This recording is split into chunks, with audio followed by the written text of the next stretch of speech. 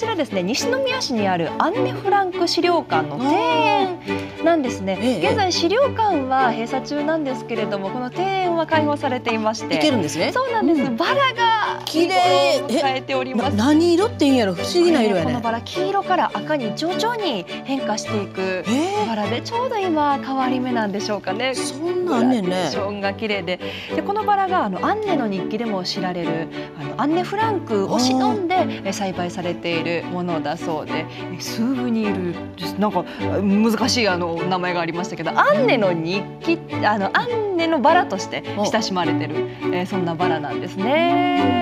すごいうっとりしますよね。やっぱこの季節今綺麗な時やっぱりこう見てほしいですもんね。本当にあの資料館を閉鎖してますけどこちらはあの3密を避けながらぜひあの皆さんいらしてくださいということでした。